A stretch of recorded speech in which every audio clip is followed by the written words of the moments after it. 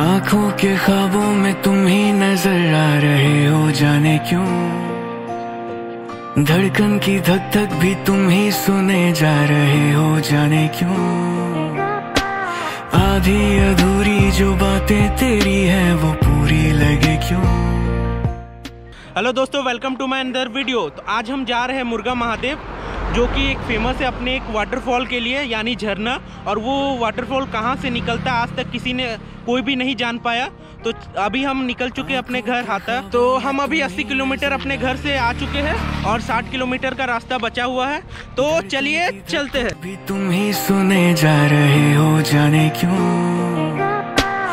आधी अधूरी जो बातें तेरी है, वो पूरी लगे क्यों? दिल की तसल्ली और अल्फाज मेरे अधूरे लगे क्यों? रोक दू वक्त को एक जगह। थाम लू बारिशें मैं बेवजह। ये पागलपन है अगर कोई तो हम पागल सही। तुम्हें चाहना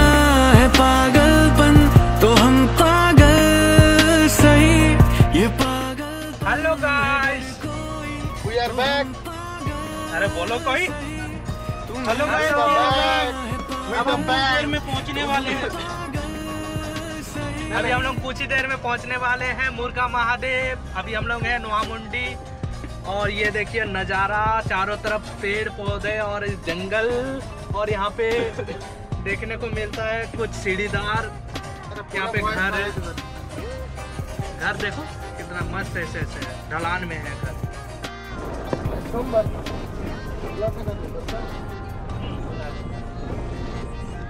हम लोग मुर्गा महादेव के मंदिर के बाउंड्री के अंदर में एंटर हो चुके हैं। अब कुछ ही देर में आप लोगों को मंदिर का दर्शन भी करवाएँगे और वो रहस्यमय वाटरफॉल भी दिखाएँगे। तो फाइनली दोस्तों अब हम मंदिर के बाहर पहुँच चुके हैं। ये सामने मंदिर है। उस तरफ़ चलते हैं उधर प्रसाद लेंगे फिर उधर मंदिर के लिए जाएँगे। अब हम पूजा का प्रसाद ले रहे हैं। चार जगह।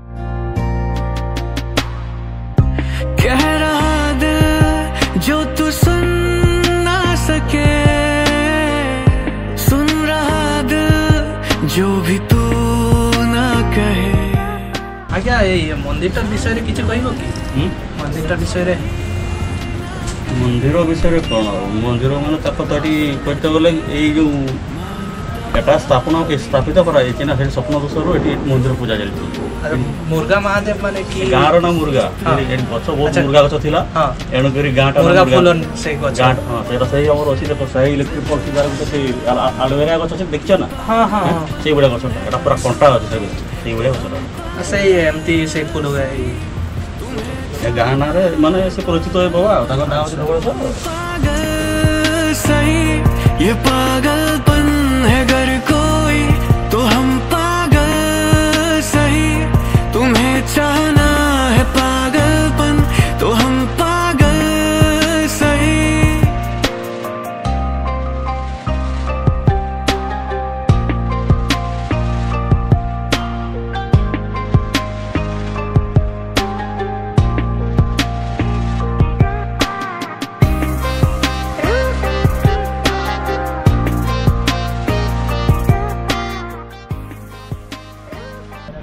अब हम चल रहे हैं। हाल रेडी है। जाओ जाओ। ये नंदी भगवान। यहाँ पे पैर धो के जाना। आराम से। ठंडा में ना विशाल धोरण धड़कन की धक धक भी तुम ही सुने जा रहे हो जाने क्यों? अब हम अपना पैर डुबाएँगे यहाँ पर ही। हमारा पैर अब धुल चुका है। बहुत ही अच्छा। Thank you Vishal